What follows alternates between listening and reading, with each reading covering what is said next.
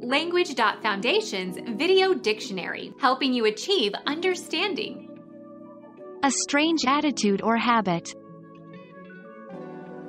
Crotchet, oddity, queerness, quirkiness. A narrow groove beside a beading. Twist or curve abruptly. She quirked her head in a peculiar way. Become our student and get access to effective and free educational materials.